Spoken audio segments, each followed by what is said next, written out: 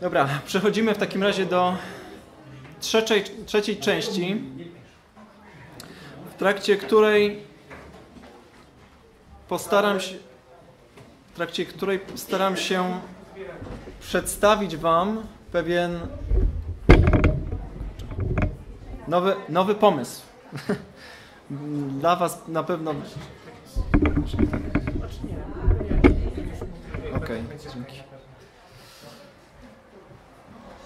Będę starał się przedstawić Wam propozycję, moją propozycję na właśnie taką ogólną strukturę, czy ogólną kompozycję Ewangelii według Mateusza, czyli będę Wam starał się zarysować z jakich części, z ilu części, z jakich części e, zbudowana jest Ewangelia Mateusza, ale też ostatecznie przedstawić taką propozycję na to, jaki, jak to wpływa na nasze zrozumienie treści, które, które tam są, tak? czyli w jaki sposób też taki układ nas ukierunkowuje na, na pewne określone y, idee, tak?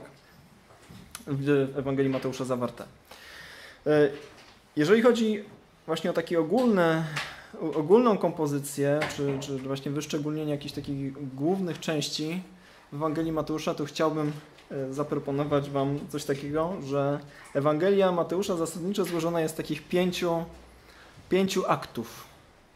E, pięciu aktów, które, jak już wynika też z tego e, pierwszego, mm, pierwszego wykładu, który miałem na temat takiego tego wstępu dotyczącego hebrajskiej retoryki biblijnej, one układają się w pewien określony kształt, kompozycyjne, y, kompozycji, mianowicie strukturę koncentryczną. Jeżeli chodzi o granice tych y, poszczególnych jednostek, y, tych poszczególnych sekcji, to pierwsza sekcja ma miejsce, no, znaczy rozpoczyna się właśnie od tej genealogii, o której dzisiaj już wspominałem i kończy się takim ogólnym opisem działalności Jezusa e, w Galilei, takiego sumarium, w którym autor stwierdza, że Jezus obchodził całą Galileję, przy, przychodzili do Niego liczni chorzy, nauczał o Królestwie Bożym, więc do końca rozdziału czwartego ta sekcja e, A, sekcja pierwsza e, by tu, by tu miała swoje granice. Sekcja B rozpoczyna się od pierwszej mowy Pana Jezusa, czyli mowę zwaną kazaniem, kazaniem na górze, a kończy się nauczaniem w przypowieściach. Sekcja C rozpoczyna się od informacji czy, czy sceny w mieście bliskim dla Pana Jezusa, mianowicie Jego rodzinnych stronach w Nazarecie, a kończy się z kolei miast, y, opis, opisem sceny w również mieście takim bliskim Pana y, osobie Pana Jezusa ze względu na to, że w, tym mieście miał swoją jakby siedzibę, siedzibę na czas Jego służby, czyli była to, czyli jakby sek, sekcja rozpoczyna fragment o odrzuceniu Jezusa w Nazarecie, natomiast kończy ją scena y, py, pytania zadanego w Kafarnaum, dlaczego nie płaci podatku. W, sekcja B1, czyli już ta po, po, po tej jakby drugiej stronie, e, rozpoczyna się od mowy o Kościele, a kończy się mową eschatologiczną. Natomiast sekcja A1 rozpo, rozpoczyna się od informacji, że przy, o, przyszedł okres właśnie święta Paschy, no i w zasadzie kończy się na ostatnim wersecie Ewangelii, e, na rozesłaniu E, uczniów na cały świat. Tak? E, więc e, teraz chciałbym powiedzieć troszeczkę więcej o tych poszczególnych sekcjach. Teraz powiedziałem mniej więcej, jaki jest zakres, jakie są granice. Natomiast chciałbym teraz powiedzieć, co się mniej więcej w danej sekcji dzieje. Ciężko by było nazwać te sekcje takim jakimś prostym stwierdzeniem za pomocą jednego czy dwóch słów, dlatego raczej mm, określiłem je takie, tak bardziej opisowo, co się w nich dzieje i na co autor w nich stara się nam zwrócić szczególną uwagę. Więc jeżeli chodzi o sekcję A, sekcja A to przede wszystkim prezentacja osoby Jezusa Chrystusa, Jego tożsamości, kim jest, skąd pochodzi, a także charakteru jego misji. Po co on w ogóle się pojawił na, e, w, tej całej historii i historii Pisma Świętego i na czym ma polegać właśnie jego rola, na czym ma polegać jego misja. I w ramach tej sekcji mamy wezwanie do upamiętania i pójścia za Chrystusem. To w takich słowach można by było podsumować właśnie tą, tą sekcję. E, sekcja B to przede wszystkim prezentacja władzy, prezentacja autorytetu Chrystusa, e, czyli mamy tutaj opis najróżniejszych cudów, najróżniejszych działań e, w Kafarnaum, które wywołują pewne zdziwienie, podziw, ale właśnie w ramach których Chrystus pokazuje swoją władzę. Ale w ramach tej sekcji mamy również od, ukazane odrzucenie właśnie tego autorytetu przez pokolenie, do którego Chrystus przyszedł. E, także mamy nauczanie o charakterze królestwa. To, te sekcje B i sekcja B1, one są bardzo mocno właśnie skoncentrowane na ukazaniu nam charakteru, e, czym jest, w ogóle czym jest Królestwo Boże, na temat jego wartości, na temat tego e, właśnie jaki jest. Ale ostatecznie ten fragment też mówi dosyć mocno o w ogóle przekazaniu misji zwiastowania uczniom. Yy, czyli jest z jednej strony pokazany Chrystus jako czyniący pewne określone rzeczy, ale z drugiej strony jest Chrystus pokazany, że nie jest ten, który, na którym się ta misja ma zamykać, ale Chrystus niejako przekazuje pałeczkę dalej właśnie swoim, swoim uczniom. W sekcji C tak to określiłem, e, tutaj będzie to prezentacja, czyli w samej jakby centrum, centrum księgi będziemy mieć prezentację dwóch dróg. E, jedna droga prowadząca do żywota, druga droga prowadząca do, do, do śmierci. Więc jako droga życia, droga śmierci zostaje tam ukazana. E, w tej, w tej sekcji Chrystus wzywa właśnie do uczniostwa, do takiego radykalnego uczniostwa i ufności względem siebie, ale czyni to w kontekście właśnie ujawnienia swojej tożsamości oraz charakteru swojej misji uczniom. Tak? Więc mówi właśnie, kim jest, pokazuje, kim jest i po co tak naprawdę przyszedł. Ponieważ wcześniej ludzie mają różne wyobrażenia, uczniowie również, ale Chrystus właśnie wzywa ich do uczniostwa, ale w kontekście tego, jak, że pokazuje, jaką drogą on tak naprawdę idzie. Nie? Sekcja B1, tak jak powiedziałem, tak jak sekcja B skupia się w dużej mierze na e, temacie Królestwa Bożego, ale e, również na odrzuceniu Jezusa w Jerozolimie. O ile sekcja by bardziej się skupiała na e, obszarze Galilei, tak sekcja B1 ukazuje podobne sceny właśnie w Jerozolimie, Jerozolimie i pokazuje właśnie odrzucenie Chrystusa przez tych, którzy, którzy zamieszkiwali obszar Judei, szczególnie Jerozolimy. E, mamy w niej zapowiedź z kolei wywyższenia uczniów. Tam było mowa o tym, że uczniom w tej sekcji B mowa o przekazaniu jakichś służbie uczniom, ale po drugiej stronie właśnie w tej sekcji B1 jest mowa o wywyższeniu, o nagrodzie dla uczniów, którzy właśnie postanowili za Chrystusem e, pójść, ale z drugiej strony mamy informację o odebraniu królestwa e, Izraelowi. No i mamy też e, dosyć szerokie nauczanie o tym, jak, jaki powinien być uczeń właśnie w tej, w tej służbie Chrystusowej. Jest to właśnie postawa uniżenia i, i pokory służba.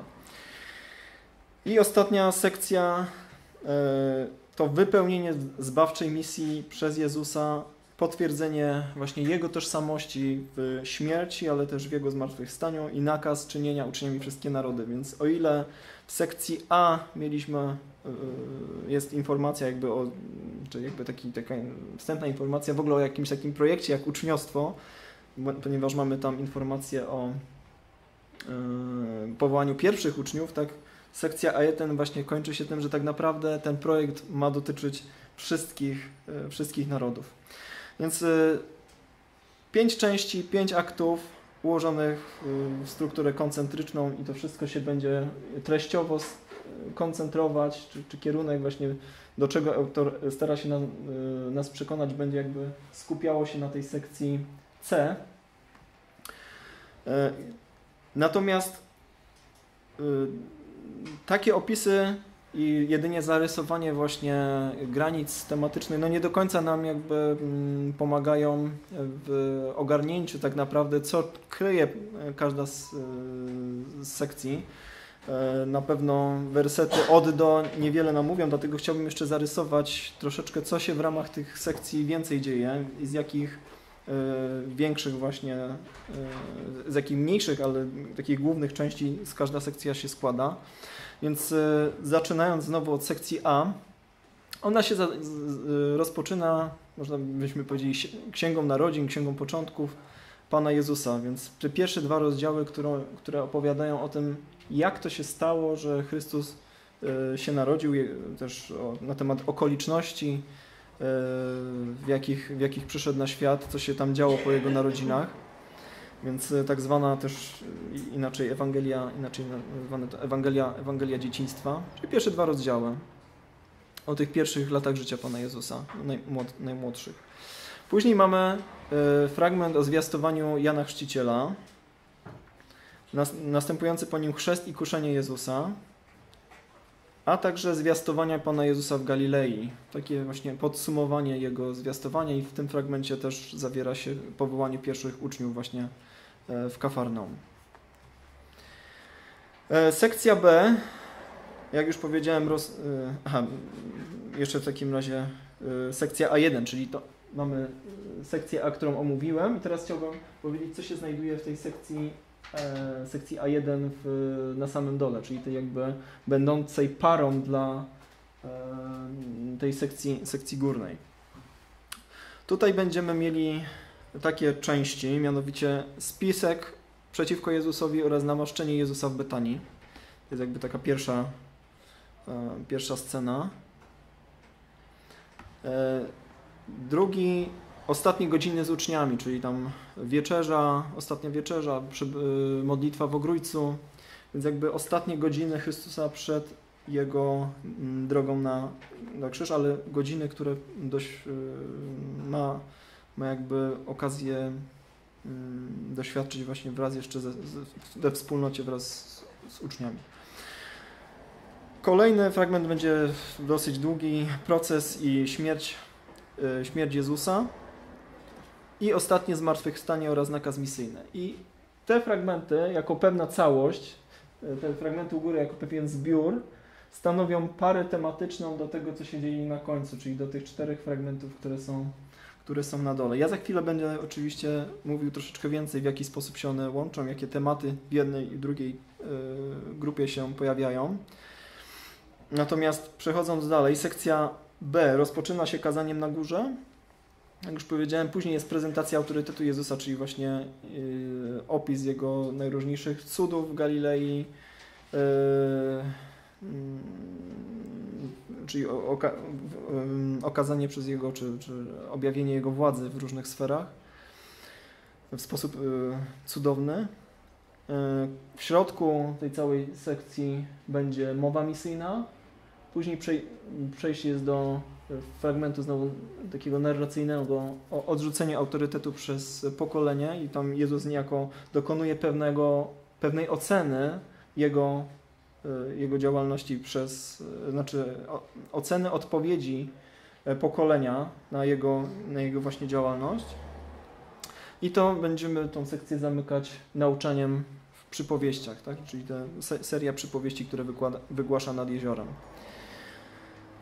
Drugą, po drugiej stronie sekcję będzie o, o, y, otwierać nam mowa o Kościele, mowa o wspólnocie uczniów, o relacjach we wspólnocie.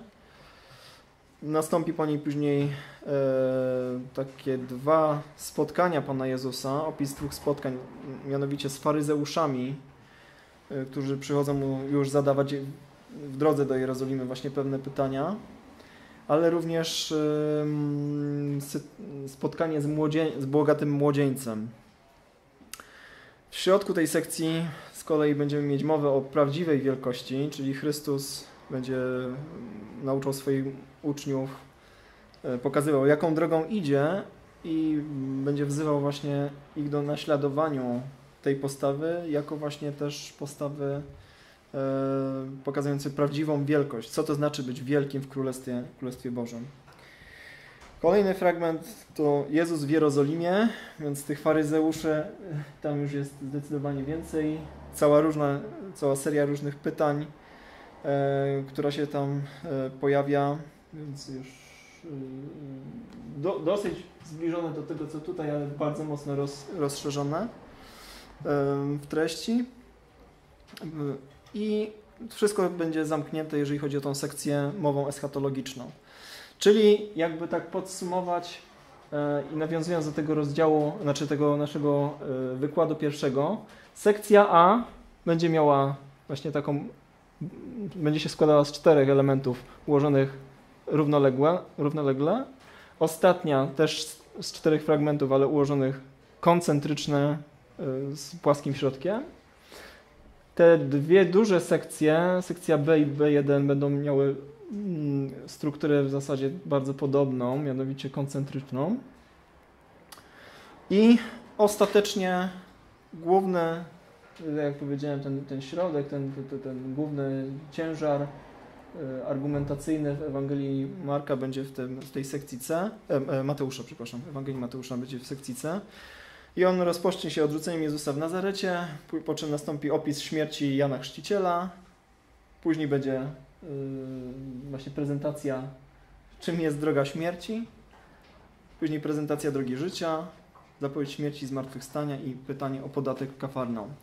Więc y, porządek jakby tej, tej treści, mi, mi się wydaje, że powiedzmy y, te, y, te tytuły, które tutaj nadałem, one przynajmniej częściowo są, mogą być dla nas już y, kojarzące się z konkretnymi e, częściami właśnie Ewangelii, już na pewno mowy, ale y, właśnie łatwiej będzie nam skojarzyć, co w da danej sekcji się znajduje, tak? Y, Właśnie poprzez te tytuły. E, Porównując w zasadzie to, mm, to moje rozwiązanie z tymi, które dzisiaj przedstawiłem, z tymi poprzednimi modelami, które, które raczej funkcjonują właśnie w literaturze fachowej, no, są pewne zbieżności, yy, ale też, yy, też, też rozbieżności. Jeżeli chodzi o ten model chiastyczny, no to powiedzielibyśmy, zbieżność polega na tym, że, że jednak jeden i drugi przedstawia yy, Ewangelię właśnie na sposób pewien żydowski, tak, z uwzględnieniem hebrajskiej retoryki biblijnej, ukazującej jako pewną strukturę e, o- budowie koncentrycznej. Przypadku modelu pięciu ksiąg, tam się dosyć mocno właśnie zwraca uwagę, że Ewangelia została napisana jako ten nowy pięcioksiąg na wzór pięcioksięgu mojżeszowego. W, przy, w przypadku struktury, którą mm, będziemy sobie omawiać, e, w przypadku tego mojego pomysłu, mamy również do czynienia jako właśnie z takim pięcioksięgiem, e, historią w pięciu, w pięciu aktach. Najmniej usatysfakcjonowani będą ci, którzy e, jakby lubią ten model oparty o punkty zwrotne, jednak jeżeli byśmy spojrzeli, gdzie się te punkty zwrotne zajmują, znajdują, to się okazuje, że w dwóch takich elementach, fragmentach akcentowanych, w fragmencie akcentowanym w sekcji A i w fragmencie akcentowanym w sekcji C, więc no przynajmniej tyle. Natomiast teraz chciałbym przejść do omówienia, niejako wybronienia się troszeczkę z, właśnie z, tego, z takiej struktury. Dlaczego akurat połączyłem sekcję A z sekcją A1, czyli właśnie w takich granicach, jakie tematy, które pojawiają się w sekcji A, pojawiają się później właśnie w sekcji A, czyli co na początku Ewangelii zostaje przytoczone, a pojawia się powtórnie w, w, mm, pod koniec relacji Mateuszowej.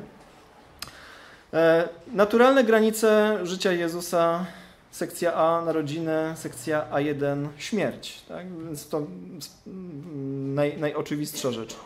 Jezus jako król Izraela. Chrystus zostaje w sekcji A przedstawiony jako syn Dawida, jako nowonarodzony król żydowski, władca nad Izraelem.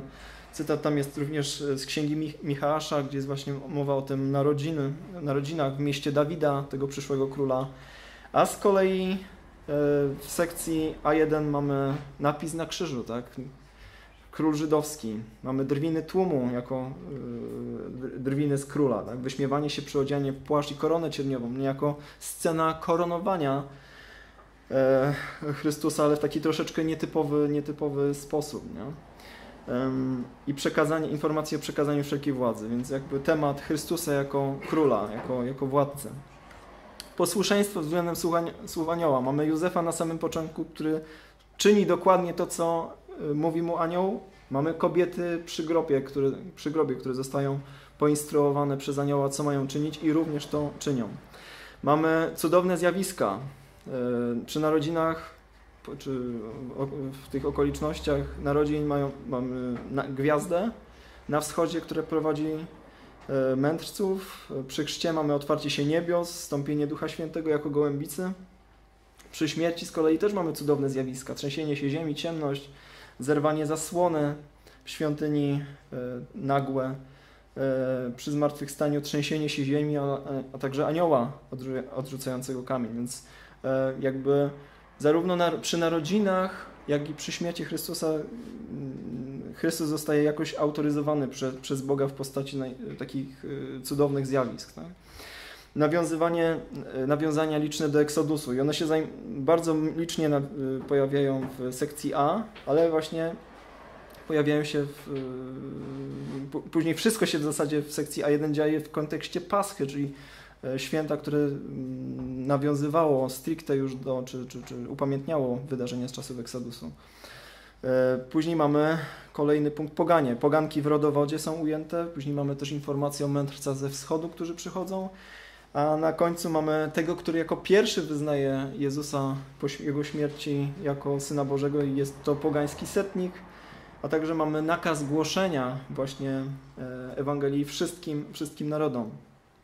W, jednej, w jednym i drugim mamy wyrazy czci. Tutaj pokłon mędrców, tutaj pokłon kobiet i uczniów względem Chrystusa. Mamy dary złożone e, Chrystusowi. Tutaj złoto, kadzidło, mirra, tam alaba, drogocенny alabastrowy olejek e, i, oraz grób, który został przeznaczony dla Chrystusa e, od e, Józefa z Arymatei. Tak? E, w jednym i drugim mamy właśnie potwierdzenie tożsamości Syna Bożego. Z jednej strony mamy świadectwo Ojca przy chrzcie. Oto jest mój Syn. I też poprzez przejście przez kuszenie, gdzie Chrystus, gdzie Chrystus jest kuszony przez diabła, ale przechodzi przez to, więc też pokazuje, że jest kimś szczególnym. Ale też usługa aniołów jakby też autoryzuje Chrystusa jako Syna Bożego w tej pierwszej części Ewangelii. Natomiast po drugiej stronie, po tamtej mieliśmy, oto jest mój Syn umiłowany, a po drugiej stronie mamy świadectwo setnika w godzinie śmierci, który mówi, ten prawdziwie był Synem Bożym. E, Jezus jako Bóg z nami, tak? mamy informację, że nazwą Go Emanuel, Bóg z nami. Po drugiej stronie Chrystus już na samym końcu jakby nawiązuje do tej idei, że jest właśnie z nami, e, ze swoimi uczniami aż do samego końca e, świata, aż do skończenia e, wieku. W jednej i drugiej mamy informację o Herodzie, znaczy o, o, przeciwnikach Pana Jezusa. Z jednej strony Herod, który próbuje go zgładzić, z drugiej strony faryzeusze, arcykapłani uczeni w piśmie, którzy właśnie doprowadzają do, do, do śmierci Jezusa. E, więc w jednej i drugiej e, jest tam informacja o próbie zgładzenia, w jednej, która się nie powodzi, e, w drugiej sekcji, która mm, dochodzi do skutku.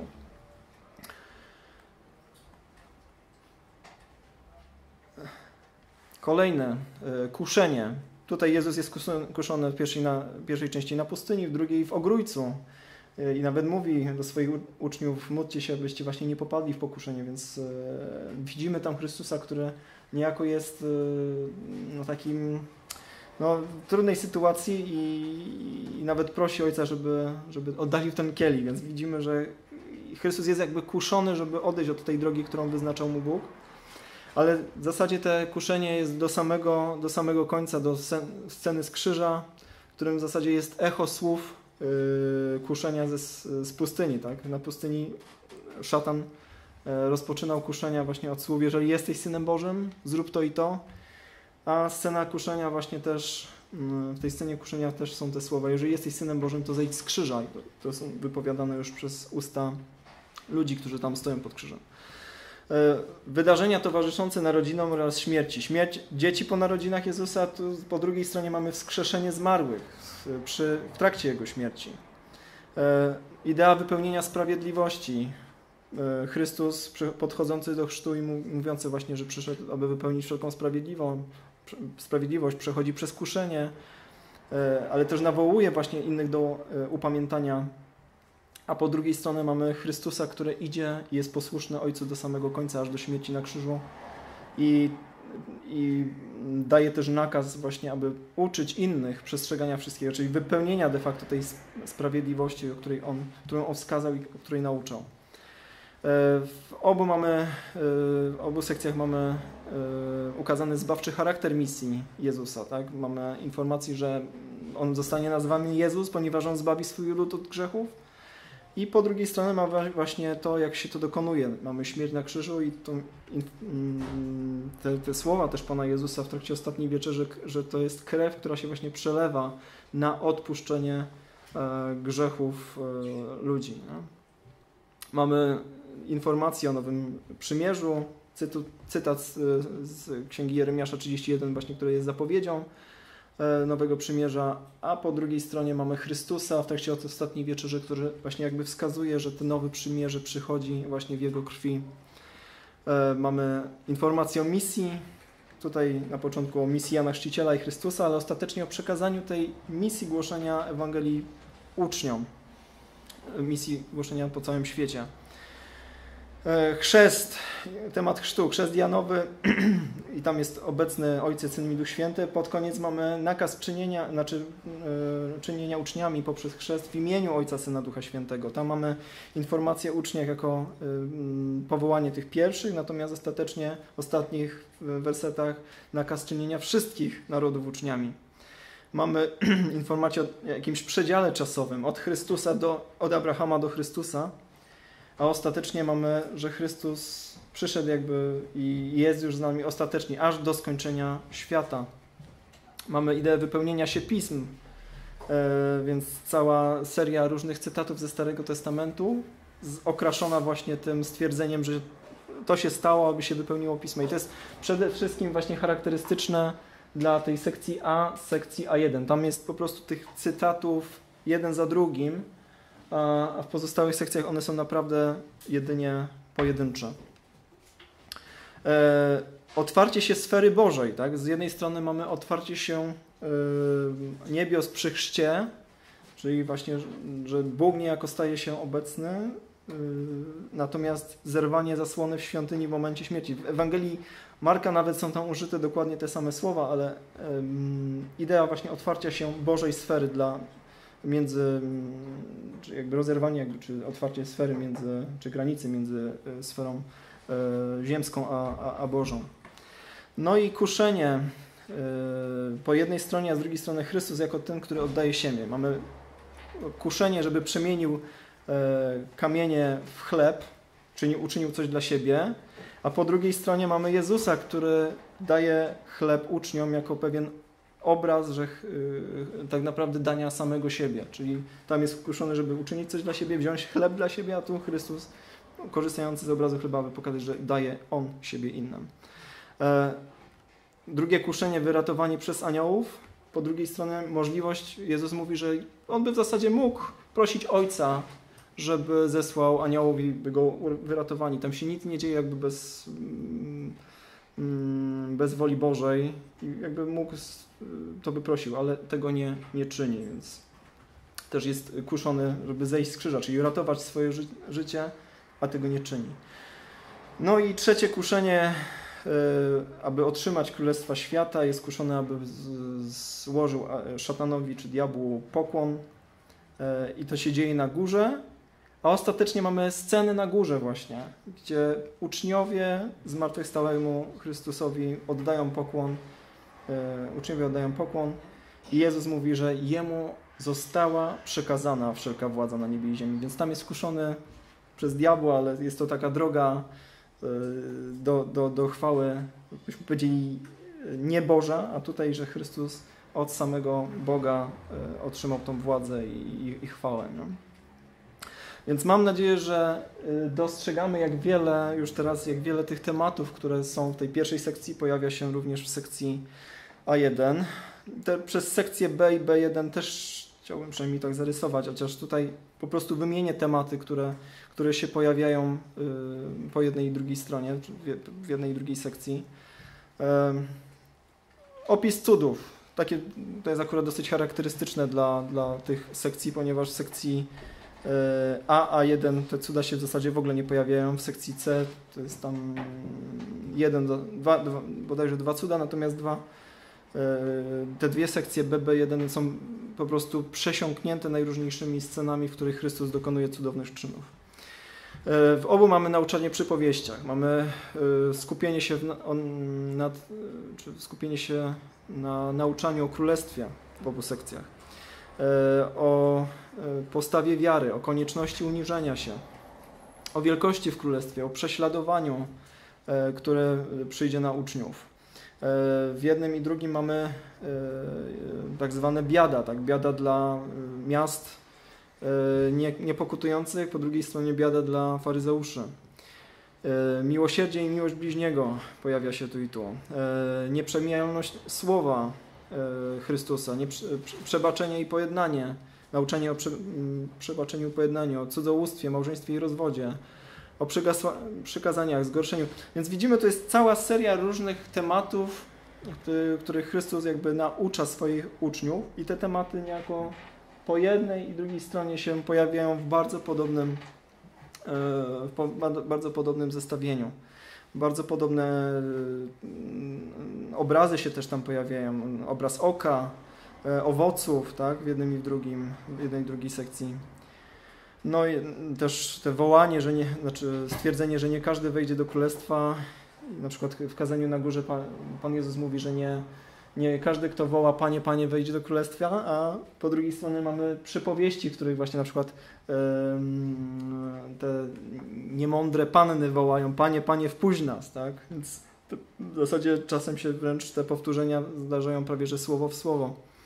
E, więc powtórzenia myśli, powtórzenia tematów, powtórzenia idei są w jednym i jednej i drugiej sekcji wydaje się no, takie, wydają się takie jednoznaczne. E, nie będę może już tu czytał tak kolejnych, jeżeli będziecie chcieli sobie doczytacie. E, tego jest po prostu cała masa. Więc mógłbym teraz wymieniać jeszcze kolejne i kolejne, ale mm, ewidentnie po prostu tematy, które się pojawiają w sekcji B, pojawiają się również w sekcji B1. Chciałbym też pokazać, że w takim ujęciu, właśnie dzieląc tą Ewangelię E, na takie pięć części, uzyskujemy strukturę, która ma dosyć taką symetryczną strukturę, jeżeli chodzi o, o, o długości poszczególnych części. E, więc mamy na pewno trzy sekcje, które są stosunkowo krótkie, czyli pierwsza, ostatnia i środkowa, natomiast te sekcje właśnie, które mają charakter nauczający, pouczający właśnie czym jest królestwo, jaka jest jego wartość i jaka powinna być w związku z tym odpowiedź człowieka e, na Królestwo Boże, no, no temu ewangelista poświęca niewątpliwie bardzo, bardzo dużo, dużo miejsca w swojej relacji. E, jeżeli chodzi o mowy Chrystusa, one, one stanowią niejako właśnie takie też granice e, tych sekcji B, B1, więc jakby, ma, o, jakby mają one swoją rolę właściwie w tej strukturze, w tym podziale tej, e, w ramach tej struktury oddzielając właśnie nam te sekcje o charakterze nauczającym od tych, które skupiają się bardziej właśnie na tożsamości, tożsamości Chrystusa i Jego, i Jego, i Jego misji, e, Jego drodze, można powiedzieć. No i właśnie, droga. I bo teraz chciałbym pokrótce powiedzieć, jak to wpływa na, na kierunek, w jaki sposób moglibyśmy w takim razie tą Ewangelię odczytać. E, jeżeli byśmy się przyjrzeli, to w właśnie tych elementach najbardziej akcentowanych, tak to określiłem, droga śmierci i droga życia, więc idea właśnie drogi, obrania jakiegoś kierunku e, przez człowieka. E, I obranie określonego kierunku będzie się wiązało w, zgodnie ze słowami Pana Jezusa z określonymi skutkami, gdzie, gdzie tak naprawdę właśnie go to poprowadzi. I jeżeli byśmy się tak zaczęli przyglądać, to ten, mm, więc to, to by było w środku, natomiast jeszcze chciałem, jakby broniąc właśnie mm, tej mojej struktury i, i tego pomysłu, pokazać pewną też taką symetrię.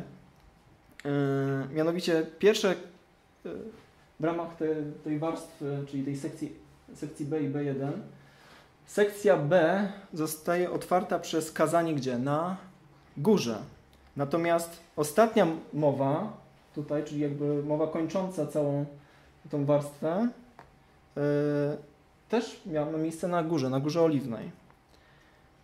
E, ostatnia z, y, mowa w, na, w tej sekcji B ma miejsce w domu nad jeziorem. Natomiast pierwsza, otwierająca sekcję B1 w domu nad jeziorem. Ale to, co mnie najbardziej jakby zaskoczyło, to to, co się, gdzie się dzieje, to, co jest najbardziej akcentowane w ramach sekcji B i sekcji B1, mianowicie to się dzieje w drodze. Czyli obraz drogi zostaje tutaj właśnie w ramach tej sekcji B, B1 wyakcentowany. Jezus posyłający w drogę swoich uczniów, a z drugiej strony Chrystus będący w drodze do Jerozolimy, na, aby wypełnić swoje, swoje powołanie y, i, i, i dzieło zbawienia y, poprzez swoją śmierć.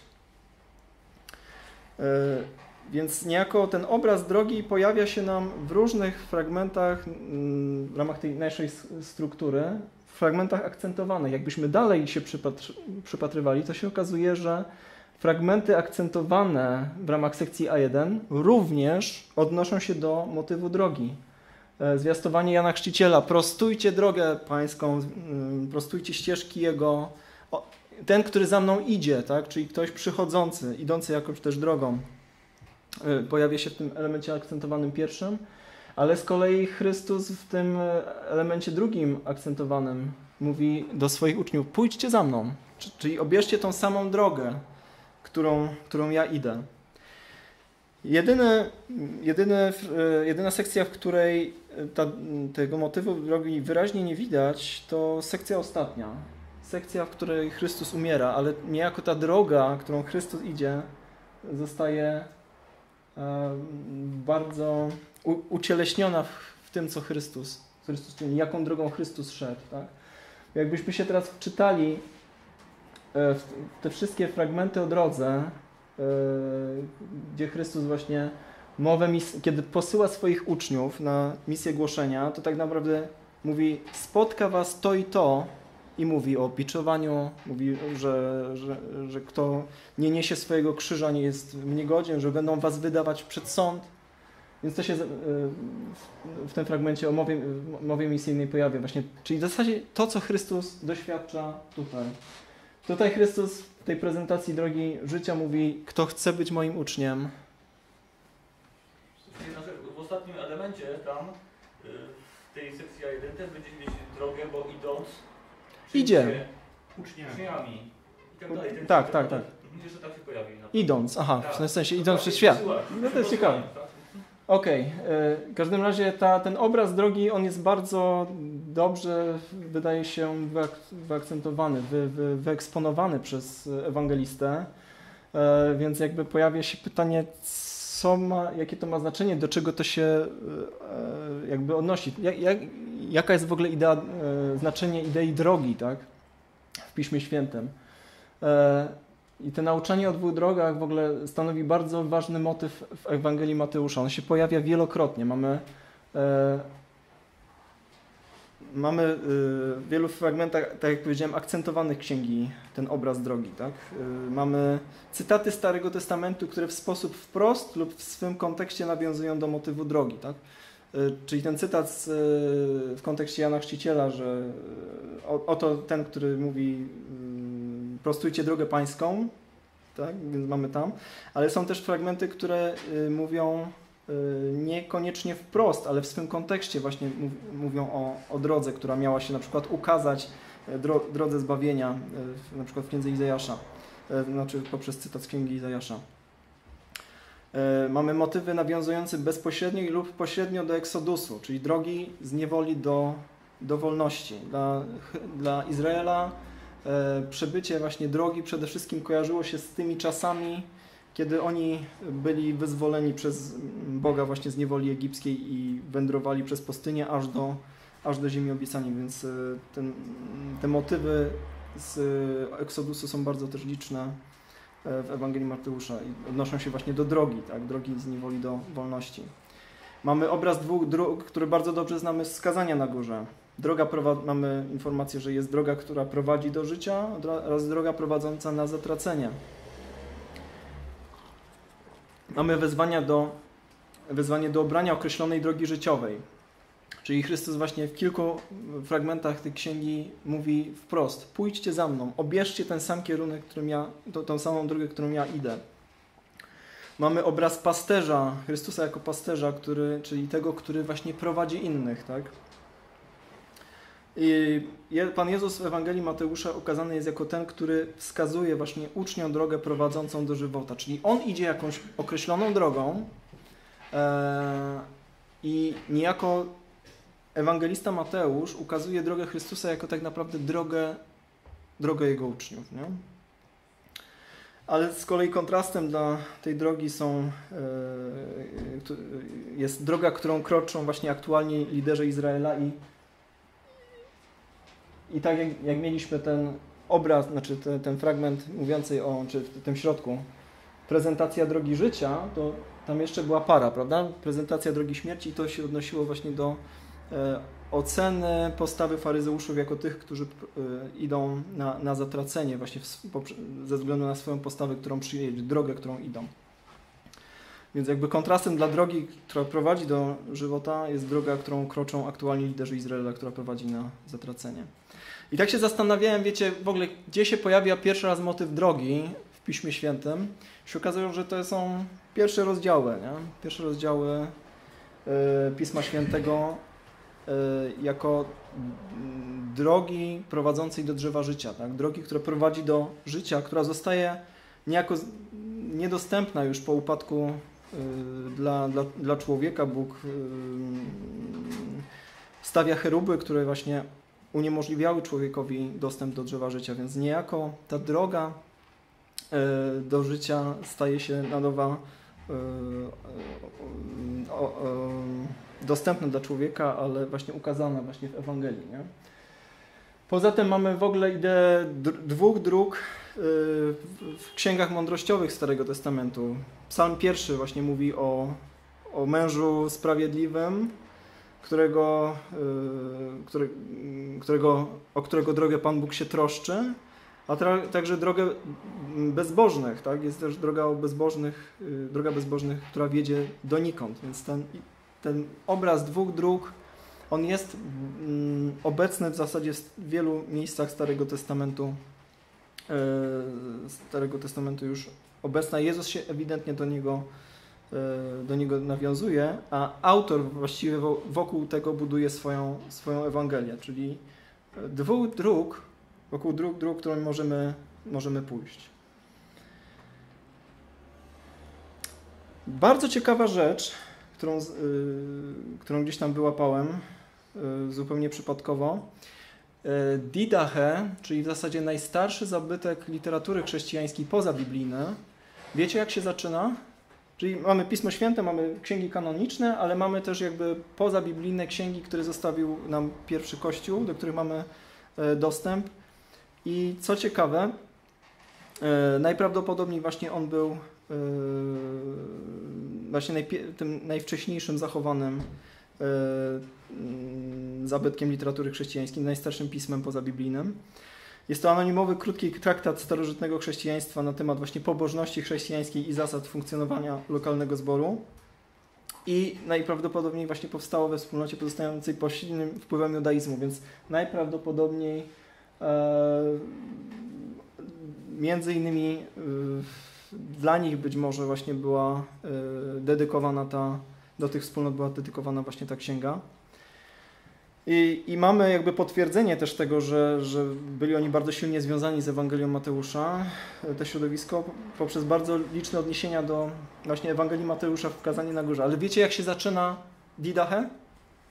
Nauka pańska podana przez dwunastu apostołów. Dwie są drogi.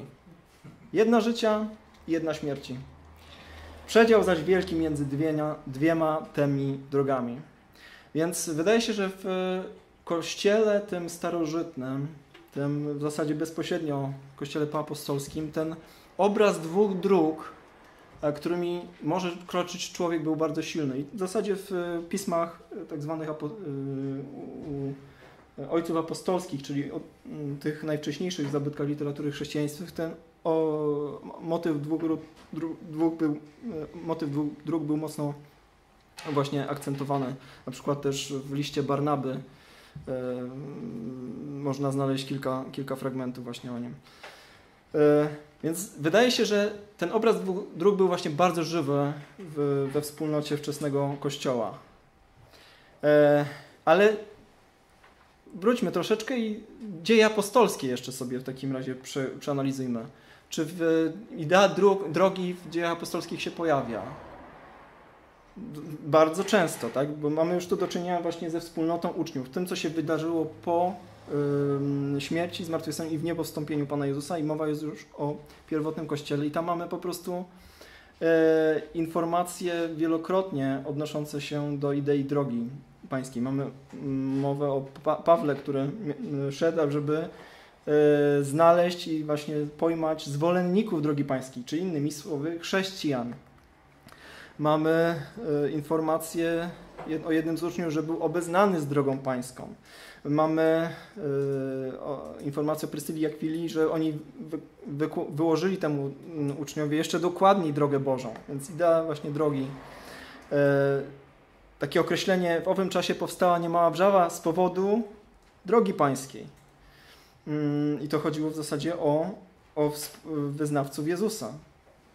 Drogę pańską prześladowałem aż na śmierć, Paweł pisze, opisując swoją drogę. E, I o kim on pisze? Mówi o, o tym, że prześladował Kościół, prześladował chrześcijan, ale określa to właśnie droga pańska.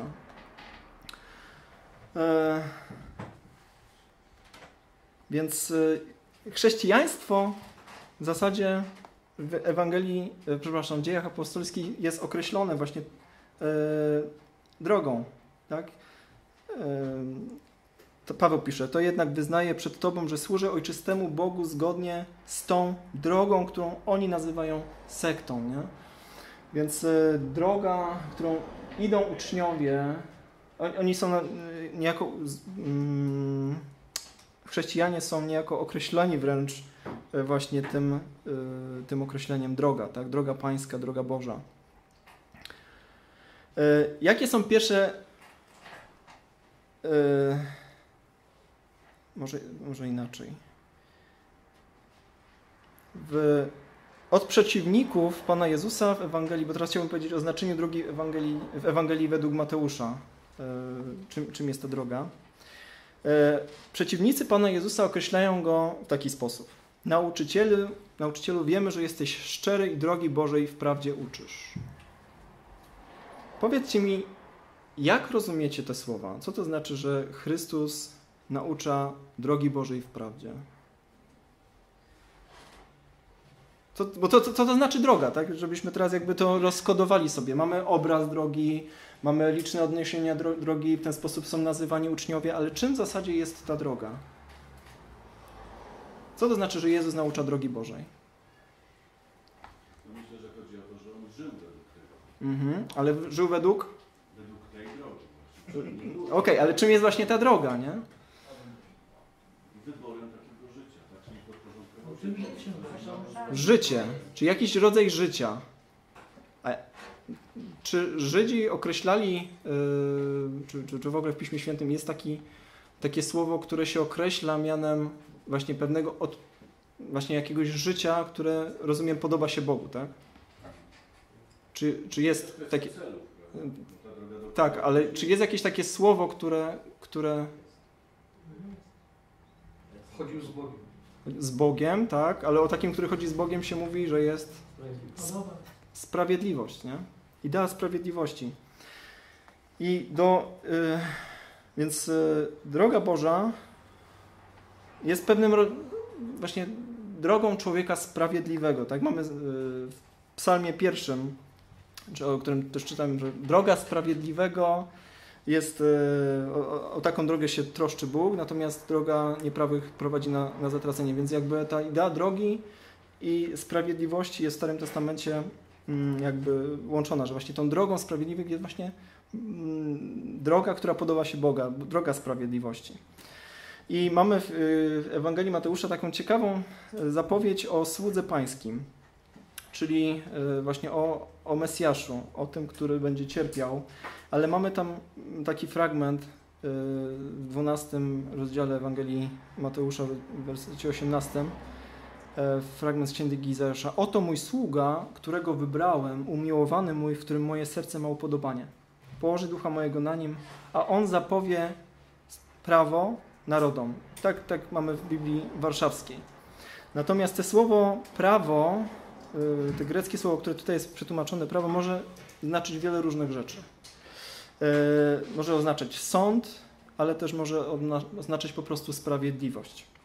I w ten sposób e, tłumaczy to na przykład Biblia Warszawsko-Praska, że on będzie głosił sprawiedliwość. E, Biblia, e, będąc edycja świętego Pawła, on ogłosi narodom sprawiedliwość. Więc jakby tutaj idea, że Chrystus przychodzi, aby obwieścić, czym jest tak naprawdę właśnie sprawiedliwość, czym jest ta droga Boża, która jemu się podoba, a którą powinien iść człowiek, który chce być sprawiedliwy. E, I co ciekawe, Biblia Nowego Świata, czyli Biblia Świadków Jehowy, chyba najwyraźniej to jakby w tym kierunku idzie, jeżeli chodzi o zrozumienie tych słów, że On wyjaśni narodom, czym jest sprawiedliwość.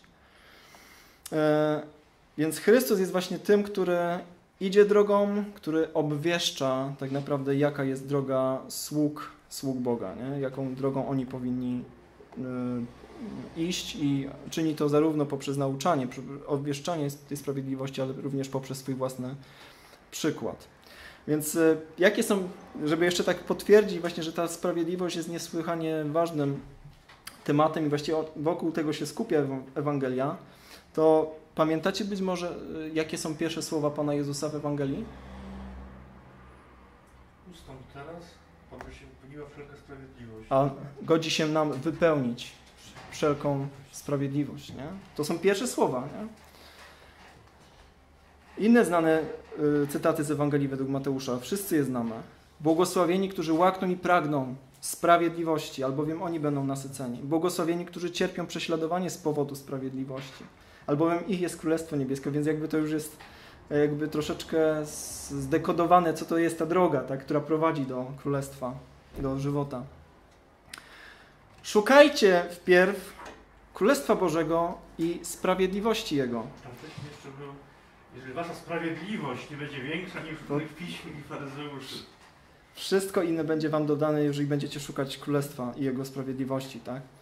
E, później ci, którzy wchodzą do Królestwa Bożego w Ewangelii y, Mateusza są właśnie określeni jako sprawiedliwi. Tak? Odejdą ci na kaźń wieczną, jak jest ten opis sądu, sprawiedliwi zaś do życia wiecznego. Wtedy sprawiedliwy zajaśnią jak słońce w Królestwie Ojca swego. Y, to są takie przykłady. Więc z jednej strony Chrystus naucza o sprawiedliwości, mówi o tych, którzy będą jakby podążać właśnie tą drogą, jako o, i którzy wejdą, y, przez, idąc tą drogą do Królestwa Bożego właśnie jako sprawiedliwych. Ale mamy właśnie w Ewangelii y, Mateusza pewien taki kontrast, tak? czy, czy, czy taki antyprzykład. I Jezus mówi, tutaj są te słowa, które przytoczyłeś, że jeśli wasza sprawiedliwość nie będzie obfitsza niż sprawiedliwość uczonych w piśmie i faryzeuszów, nie wejdziecie do Królestwa Niebios. Biad, i to później słowa wypowiedziane do faryzeuszów w Jerozolimie. Biada wam uczeni w piśmie i faryzeusze, obłudnicy, że dajecie dziesięcinę z mięty i z kopru i z klinku, a zaniedbaliście tego, co ważniejsze w zakonie. Sprawiedliwości, miłosierdzia i, miłosierdzia i wierności. Te rzeczy należało czynić, a tamtych nie zaniedbywać.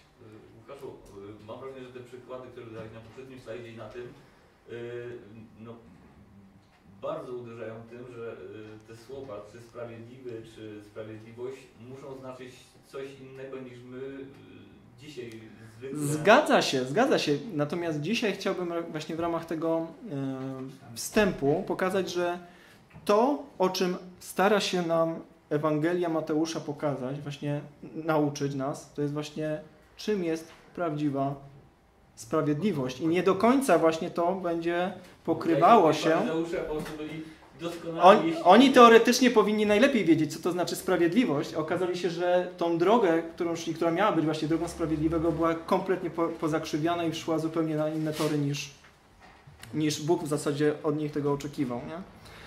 I tak wy na zewnątrz wydajecie się ludziom sprawiedliwy, wewnątrz zaś jesteście pełni obłudy i bezprawia, więc można... Nap- I to, to jest ciekawe, że- znaczy takie mam to, to, tak, takie moje refleksje, że my tak naprawdę bardzo często możemy nawet współcześnie wejść w buty faryzeuszów, nie? Więc y, ewangelista niejako właśnie poprzez to, jaką drogą idzie Chrystus, czego naucza, ale także, także, także właśnie poprzez ten antyprzykład, jakim są obecni liderzy, czyli faryzeusze i uczeni w piśmie, y, daje nam możliwość wyboru. Tak? Właśnie pokazuje dwa przykłady i właśnie dwie drogi, którymi możemy iść. I pytanie, za kim pójdziesz? Czy za Chrystusem, czy pójdziesz za faryzeuszami i liderami właśnie w ich postawie? Dzisiaj sobie nie powiedzieliśmy, czym jest ta sprawiedliwość, ale właśnie o tym będziemy mówić na kolejnych naszych spotkaniach. Dzisiaj tylko chciałem pokazać właśnie na czym Ewangelia się będzie skupiać, więc Faryzeusze ustanowili własny tak, tak, tak. Więc jakby ta, ta Ewangelia zmusza nas do postawienia pytania i wyboru, za kim idziesz. Czy idziesz za, czy idziesz tą drogą, czy idziesz tą drogą, nie? Ale wybór należy oczywiście do nas. Mam nadzieję, że spojrzenie właśnie takie całościowe yy, widzicie, że nam coś też więcej daje właśnie w takim zrozumieniu księgi, do czego ta księga mm, w zasadzie miała służyć, tak? Mamy, powiedzieliśmy sobie, że chrześcijaństwo było nazywane drogą pańską. Mamy informację, że oni byli obeznani w drodze pańskiej. Więc Ewangelia Mateusza miało być właśnie nauczaniem, spisanym nauczaniem, czym ta droga de facto, de facto jest. Za kim pójdziesz? Czy idziesz za Chrystusem w Jego drodze, czy, czy właśnie idziesz w naśladowaniu tych, którzy idą drogą śmierci? I takie całościowe spojrzenie, mimo tego, że czasem właśnie czytamy i mamy wrażenie, czytając daną księgę, że jest ona takim zbiorem przypadkowych, następujących po sobie różnych obrazów, historii, nie do końca widząc tak naprawdę ten całościowy obraz i ten całościowe przesłanie. Ale kiedy zaczynamy patrzeć coraz szerzej, coraz bardziej całościowo, okazuje się, że być może widać tu coś Widać. więcej.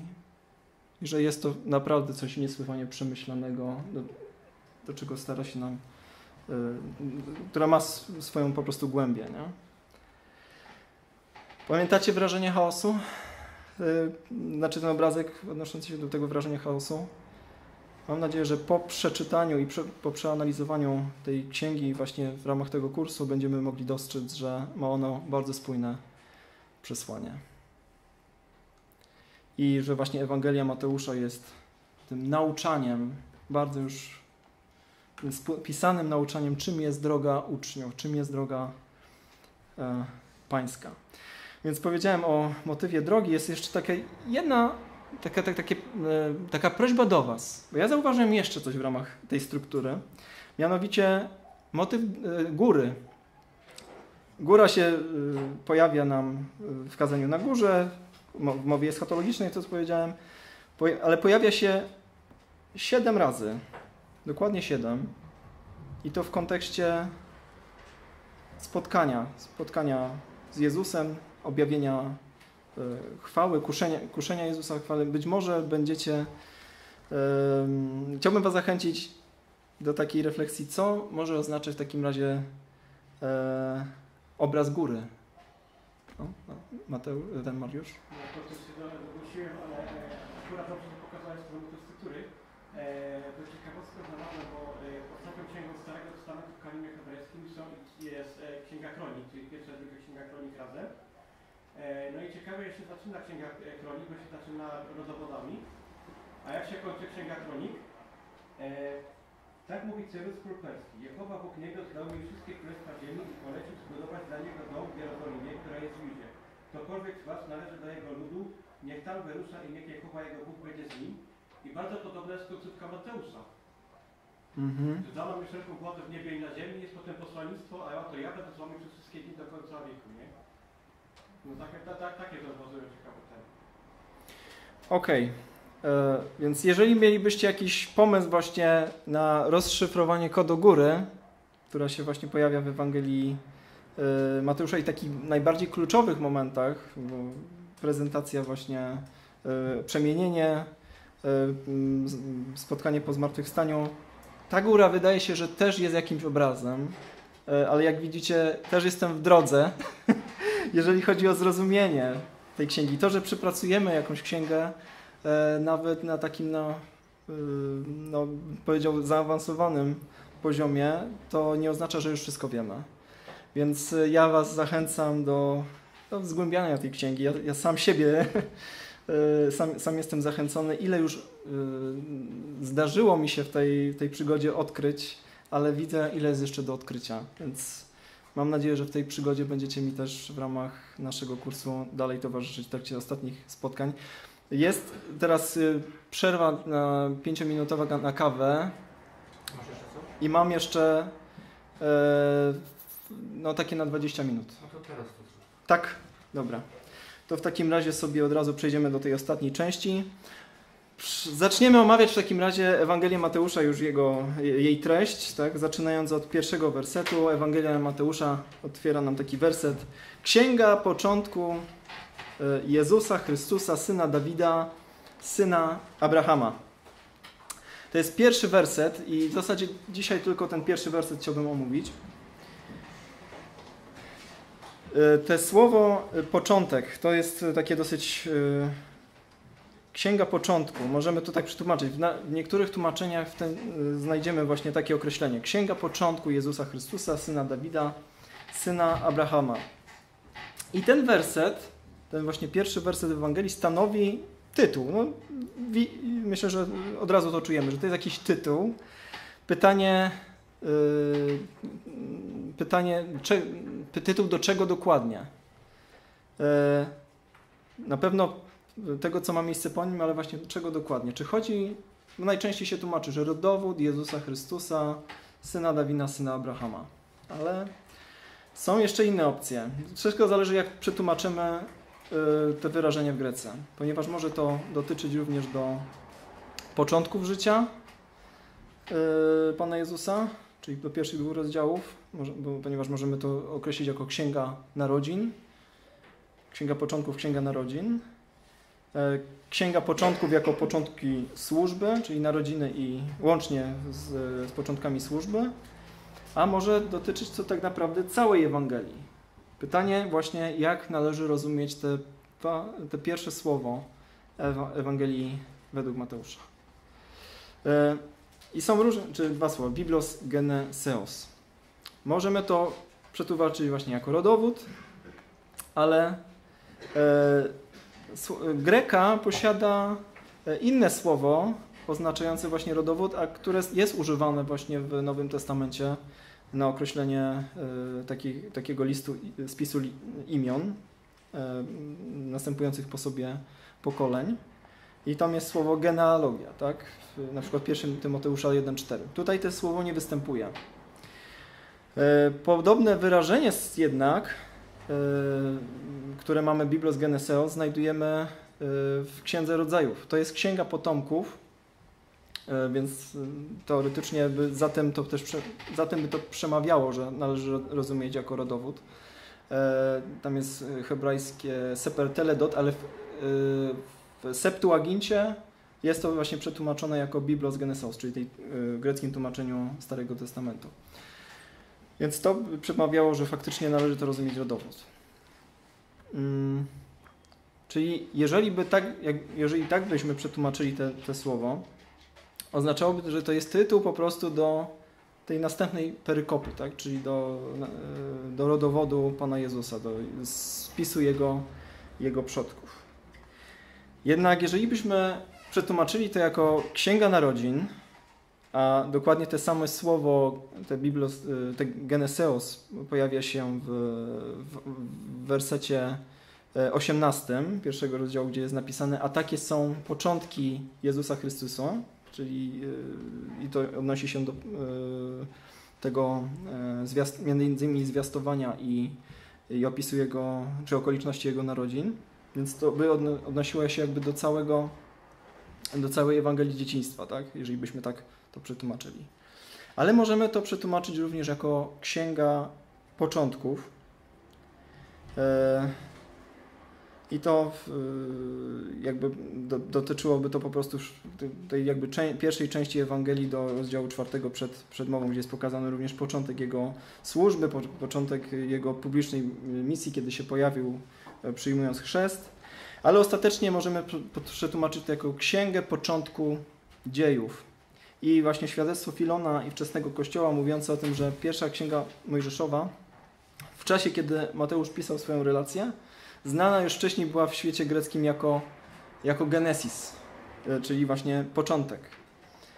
I więc moglibyśmy też e, zrozumieć te słowa wstępne e, Ewangelii, te pierwsze słowa Ewangelii, jako właśnie nawiązanie do, do Księgi Rodzaju, do słów z rodzaju 5.1, w Septuagincie również do E, do, do 2.4, gdzie jest mowa o to, że tak, e, takie były początki, czy, czy dzieje stworzenia e, nieba, nieba i ziemi. Tam jest właśnie te, te słowo biblos, przepraszam, gen, biblos geneseos, tak, dokładnie.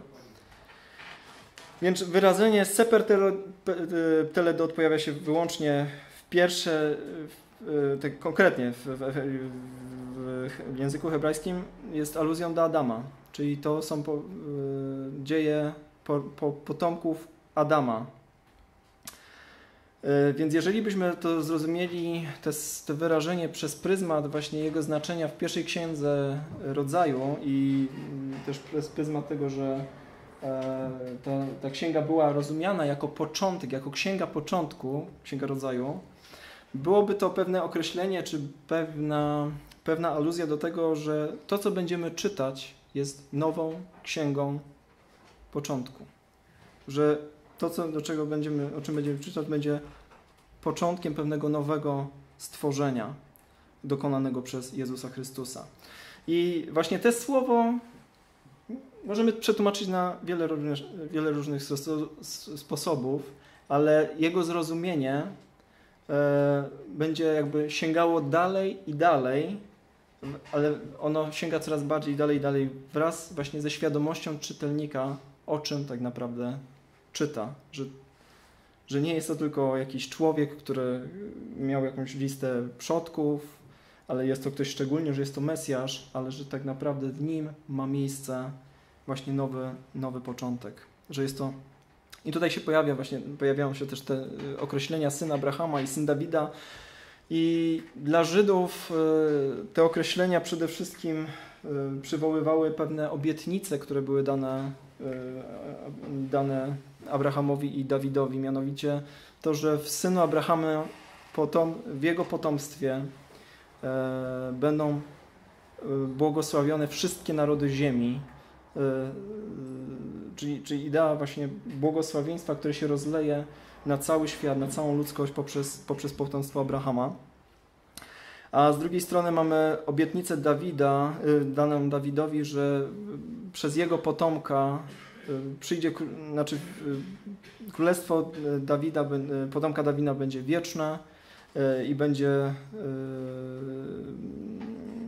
no, będzie się jakby to określić mm, no, będzie na, na wieki, tak? ale że ta władza będzie, będzie mu dana na wieki. Nie?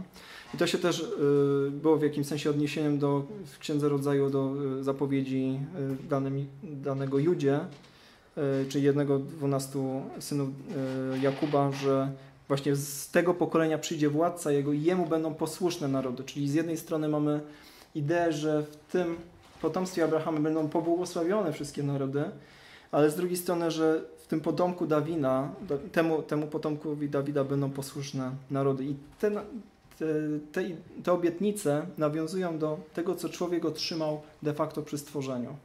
E, Właśnie na samym początku, kiedy Bóg stwarza człowieka, jest powiedziane, że błogosławi mu, a także czyni go, aby był e, jego reprezentantem w panowaniu nad, nad stworzeniem. Nie? Czyli błogosławieństwo i władza właśnie się odnosi do tego, jak Pan Bóg stworzył człowieka i dał mu, błogosławił mu i dał mu właśnie mm, władzę, żeby czynił sobie ziemię poddaną. Jednak wiemy, co się wydarzyło. Wiemy, że ludzie zbuntowali, nie byli posłuszni, zbuntowali się przeciwko Bogu, nie wypełnili jakby tego e, swojego powołania. I w zasadzie e, Stary Testament e, mówi o pewnej historii. Mówi o historii właśnie o tym, jak Bóg teraz ten upadły rodzaj ludzki stara się na, na nowo poddźwignąć, tak? na, odnowić przez to, co czyni. W zasadzie e, moglibyśmy mówić o takich cyklach upadku i odnowy, tego, co Bóg robi, a po drugiej stronie właśnie co, co człowiek robi yy, właśnie przy- jakby sprzecznie z Bożą, z Bożą wolą i w jakim miejscu, do jakiego miejsca znowu trafia. Wszystko w zasadzie, cała historia hi- Pisma Świętego, pierwsze wersety Księgi Rodzaju w zasadzie pokazują nam pewną ideę, że Bóg czyni cały świat z, z pewnego stanu nieładu, z cha- chaosu, tak? że ziemia była bezładnym i chaosem, ale Bóg stwarza właśnie z, z wody z wody świat, więc jest stworzenie i czyni Adama jako właśnie początek, początek ludzkości. Błogosławi mu, nadaje mu władzę, natomiast problem jest taki, że Adam nie wypełnia swojego powołania, dochodzi do upadku i ludzie zostają wygnani na, na wschód. Ostatecznie, ostatecznie czytamy, że świat uległ, czy, czy ludzkość uległa całkowitej deprawacji. Można powiedzieć, że doszli z powrotem do miejsca pewnego chaosu, który nie był zdatny, nie był zdatny do życia. Dlatego Bóg czyni właśnie pewną odnowę w postaci potopu i, i powołuje Noego jako znowu, który jest tym początkiem, nowym początkiem dla, dla, dla ludzkości, która ma nastąpić po potopie. Ale wiemy, że znowu e, Bóg daje pewną misję ludziom, mają się roz, e, rozproszyć, mają e, rozejść się po świecie. Oni, jak ten dziad, w jednym miejscu sobie postanawiają, że sobie zbudują miasto z wielką wieżą. Więc niejako dzieje się coś takiego. Bóg czyni coś, ale człowiek poprzez swoje, e, poprzez swoje działania i przez swój bunt przeciwko Bogu na nowo e, jakby na nowo dochodzi do takiego miejsca właśnie chaosu, bezładu, y, który jest obcy przeciwko, obcy, obcy jakby Bożemu porządkowi. I Bóg jakby de facto z tej cywilizacji, która, która, która gdzieś tam powstaje, z tej wieży Babel, powołuje jednego człowieka. Znowu i da jednego początku, tak? No, nowego początku. Abraham, który miał być po- początkiem dla narodu, który wypełni swoje powołanie, będzie światłem dla narodu, będzie inny niż ci, którzy, niż te narody, które, które otaczają y, y, Abrahama. Ale się okazuje ostatecznie, że Izrael nie spełnia swojej, swojego powołania, znowu ląduje w cywilizacji obcej Bogu, przeciwnej Bogu. Ale Bóg dokonuje, czyli jakby trafiają do niewoli egipskiej, ale Bóg znowu powołuje ich jako naród, zawiera z nimi przymierze i y, troszeczkę pominąłem chyba przed momentem. W każdym, w każdym razie chciałbym tutaj pokazać, y, y, że w Piśmie Świętym jest y, jakby ukazane Boże działanie, tak? że Bóg chce dokonać pewnego nowego stworzenia. Chce odnowy, chce miejsca, w którym ludzi, będą ludzie, y, którym, którzy będą Mu e, posłuszni, którzy będą pełni zaufania dla Niego, a ostatecznie lądują w miejscach, które niestety y, są wrogie w zasadzie jego porządkowi i, i, i stanowią, stanowią właśnie taki wyraz takiego be, cha, chaosu, bezładu, y, który jest jakby skutkiem oddalonego, oddalenia od, od Boga. Nie? Można powiedzieć, e, że jest to taka cywilizacja e, przeciw, przeciwna Bogu. Nie? I Izrael znowu e, po wejściu do, e, do, do ziemi buntuje się przeciwko Bogu, nie, nie przestrzegają prawa i wielokrotnie Bóg zapowiada, że będzie niewola, e, będzie kara. Ni- Niestety oni w tym nieposłuszeństwie trwają i, i ostatecznie trafiają do niewoli babilońskiej. E, Natomiast prorocy oprócz tego, że właśnie na, e, mm, prorocy oprócz tego, że zapowiadają niewolę, zapowiadają, że odej- nadejdzie nareszcie czas, kiedy Bóg całkowicie odnowi swoje, odnowi swoje stworzenie. Więc y, i prorocy opisują to w kategoriach tego takiego nowego eksodusu, czyli kiedy naród wyjdzie z niewoli babilońskiej, Bóg uczyni coś szczególnego. Dokona nowego eksodusu i całkowitego, całkowicie pewnego nowego stworzenia. Odnowi niebo, odnowi ziemię, ale Izrael wraca z niewoli babilońskiej, ale okazuje się, że raju na ziemi nie mają. Ziemia, Kanaan cały czas w zasadzie przechodzi tylko z rąk do rąk kolejnych, y, kolejnych y, najeźdźców. O świetności świątyni, która wcześniej była, mogą tylko pomarzyć. Więc istnieje takie bardzo silne przeświadczenie, co w y, księgach prorockich możemy odnaleźć, że tak naprawdę Izrael cały czas pozostaje w niewoli. Ale nie jest to niewola ta właśnie fizyczna, ta opresja fizyczna, jakaś niewola egipska, babilońska, ale tak naprawdę oni cały czas są w niewoli o wiele głębszej, w niewoli swojego grzechu, w niewoli nieposłuszeństwa przeciwko Bogu. I oni rozumieją, że wydarzy się coś więcej. I to więcej, ta prawdziwa wolność, to wyzwolenie z niewoli przychodzi dopiero kiedy przychodzi Chrystus.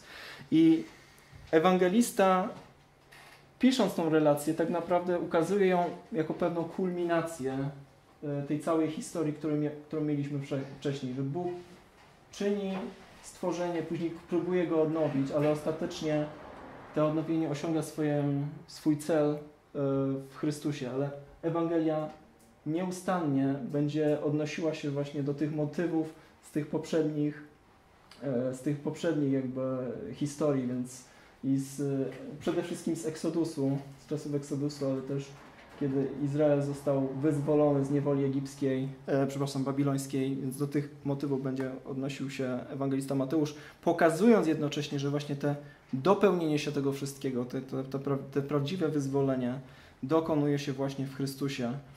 I o ile wcześniej właśnie Bóg tworzył pewny taki obszar, w którym ludzie mieli mu być z nim w, w relacji e, i tam mu służyć, tam wypełniać jego wolę, czyli mamy między innymi ideę e, ogrodu Eden jako tej przestrzeni właśnie tej, tego, tej wspólnej relacji Boga, e, Boga i człowieka.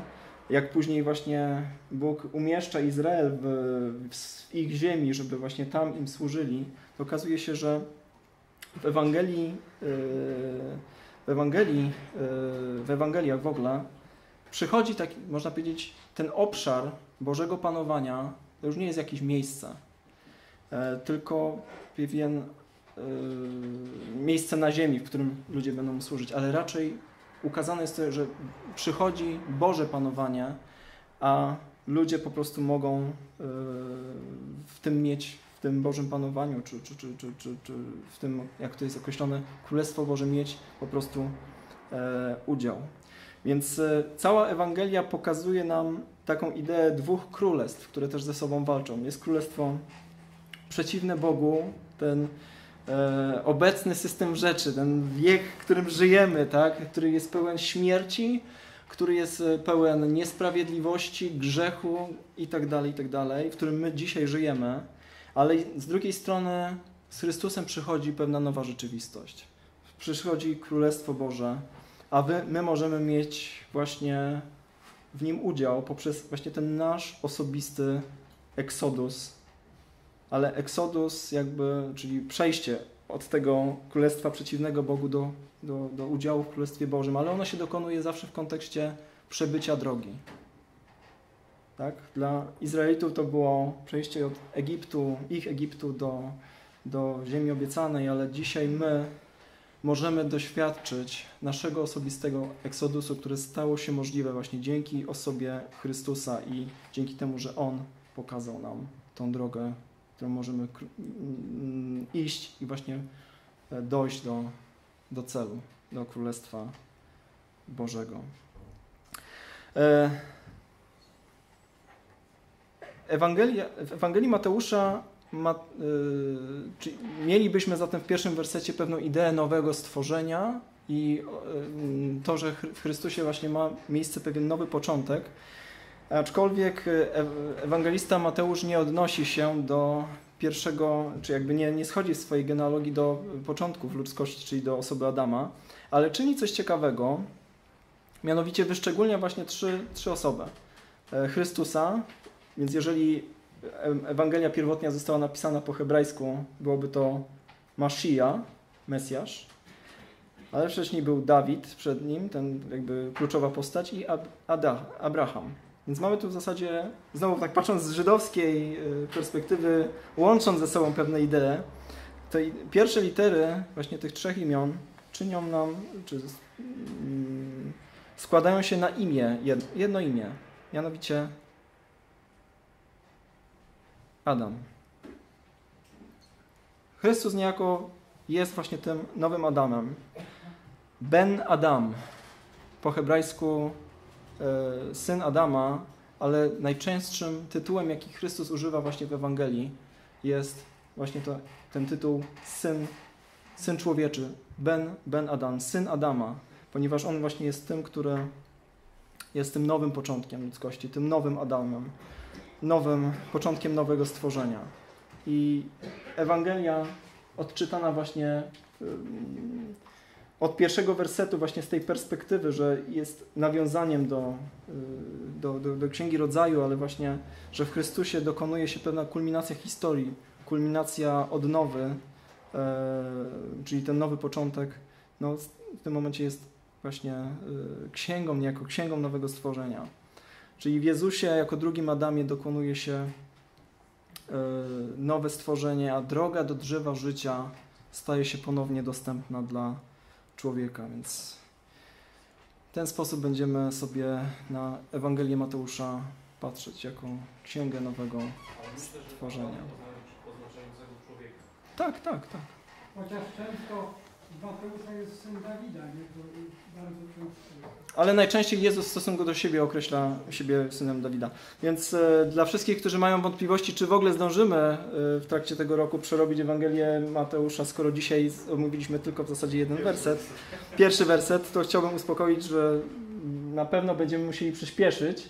Natomiast e, mniej więcej tak to podzieliłem, więc będziemy musieli sobie średnio 3-4 rozdziały na spotkanie robić, ale tak jak mówię, będziemy się jakby e, wspierać tymi różnymi informacjami, które poruszyłem dzisiaj, czyli czym jest hebrajska retoryka biblijna.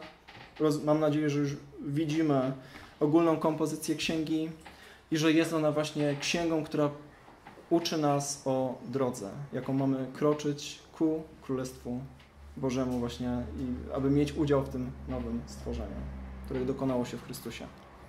Ja dziękuję Wam wszystkim za uwagę i mam nadzieję, że do zobaczenia e, za, za te parę tygodni 15 października. oraz wąskiej drogi Wam wszystkim życzę.